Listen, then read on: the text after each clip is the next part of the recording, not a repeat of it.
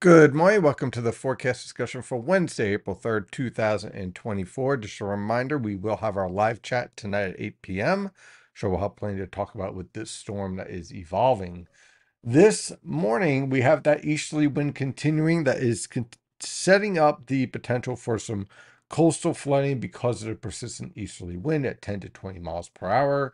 We have waves of rainfall that has already produced areas of urban flooding and some small stream flooding, and will continue to do so as we move on through today as waves of rainfall continue to move through.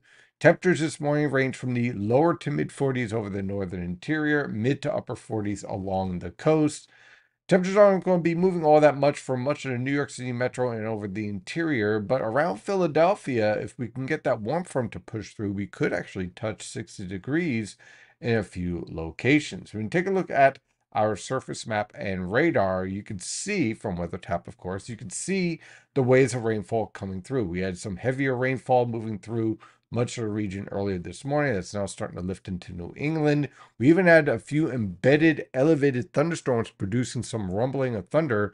Don't be surprised we continue to hear that throughout the day today as some of the embedded thunderstorms within this rain shield lifts through the region.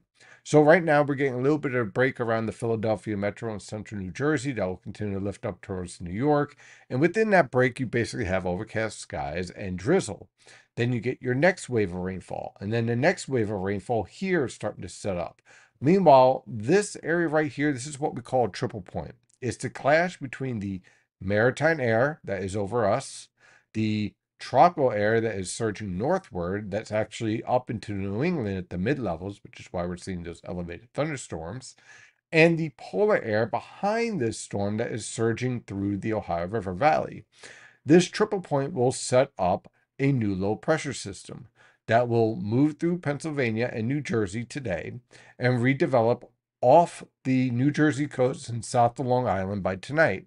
And this will become the new storm. So we'll watch that live uh, t- in tonight's live chat where the new coastal storm starts to take hold. And that's going to introduce more rainfall for the region for tonight into tomorrow morning, and possibly even, yes, cold air mixing in, supporting some development of snowfall over much of the northern interior of New England and a few flakes here and there around the Poconos, Catskills, and the Hudson Highlands. Not expecting much in the way of accumulation, but watch out for those slick roads tomorrow morning. You can see this whole storm starting to organize and taking shape here on the infrared satellite picture. Again, your cold cloud tops are focused over the mid Atlantic, where we're seeing a lot of lifting. There is our upper level low. Let's take a look at the upper level winds because I think this really details exactly what is happening with this whole pattern. Why are we seeing this storm? Because we got this block here between the polar jet stream and the subtropical jet stream, subtropical jet stream providing all the moisture. This is our polar short wave. It cannot lift up into New England and towards the St. Lawrence River Valley because of this block here. So it has to get forced through the mid Atlantic and towards the New England coastal waters because it cannot exit northward. So it exits eastward. And the reason why it has to exit eastward is because of this active Pacific pattern that is about to slam into the west coast. So it's a bit convoluted right now, but all of it is going to get shifted out and we will see sunshine again. Trust me. It's just going to take a little bit of time to get this upper level low kicked out of here over the next couple days. So we're going to continue to deal with pesky showers even after this storm passes through tomorrow morning. So let's dive into the forecast for today. Waves of rainfall. There's our new secondary low pressure starting to organize. Temperatures will range from the lower to mid 40s over the northern interior, mid to upper 40s around the New York City metro, and then the Philadelphia metro will range from the upper 40s to lower 60s, depending on the location of this warm front. So let's say central New Jersey, let's say Hightstown, Freehold, you're stuck around 48, 49 with driving rain. As you drive down towards Philadelphia, you start to warm up into the 50s. And then as you push into southwestern New Jersey, let's say around Millville, that is where you could touch 60, 61 degrees as that warm air tries to surge northward. So there's going to be a heck of a gradient setting up here uh, over southern New Jersey and the Philadelphia metro because of that warm front. And again, there will be that chance for embedded thunderstorms. The low pressure system will move over the region and head towards the coastal waters tonight, intensifying rapidly to the south of Long Island, with waves of rainfall continuing. Cold air will start to get pulled in from New England down into the interior, opening up the potential for a little bit of rain snow mix for, let's say, northern Connecticut, the Hudson River Valley, northwest New Jersey, the Poconos, and northeast in northeastern Pennsylvania. These locations, again, I'm not expecting much in the way of accumulation unless you're on the highest elevations possible in these locations. Uh, let's say around 2,000 feet, that's where you could actually get some snow accumulation, possibly one, two, three inches of snow on cold surfaces. Temperatures will fall off into the lower to mid 30s over the northern interior, mid to upper 30s along the coast. The storm will start to leave tomorrow afternoon with scattered to broken cloud cover and scattered showers hanging around the region. Look for high temperatures in the mid to upper 30s over the northern interior, lower to mid 40s around the New York City metro, and upper 40s to lower 50s in the Philadelphia metro. On Friday, that upper level low is hanging around the region, so that's going to keep variable cloud cover in place with scattered showers. Look for low temperatures ranging from the upper 20s to lower 30s over the northern interior, mid 30s along the coast. High temperatures ranging from the mid to upper 30s over the northern interior, lower to mid 40s in the New York City metro, mid to upper 40s in the Philadelphia metro.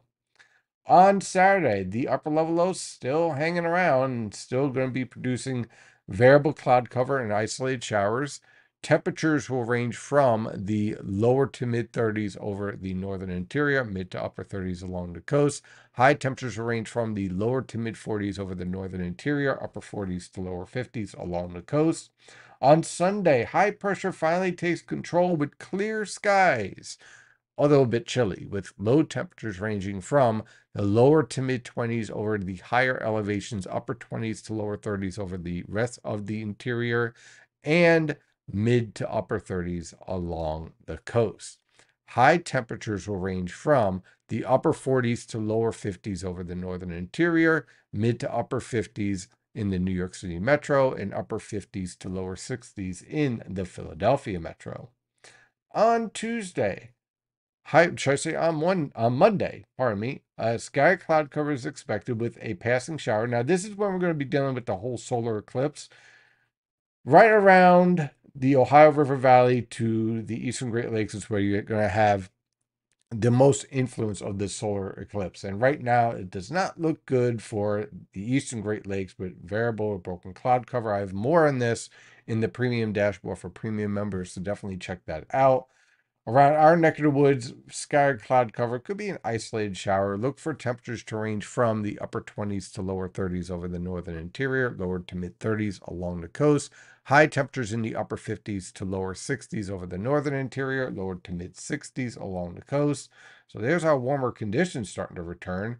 On Tuesday, high pressure is in place with clear skies and Low temperatures ranging from the mid to upper 30s over the northern interior, upper 30s to lower 40s along the coast. High temperatures in the lower to mid 60s over the northern interior, mid to upper 60s along the coast.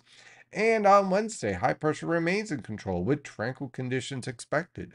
Look for low temperatures in the mid to upper 30s and high temperatures ranging from the lower to mid 60s along the immediate coast mid to upper 60s over the interior, and upper 60s to lower 70s in the Delaware River Valley. That's your forecast discussion for today. Have a wonderful day, and as always, stay safe out there.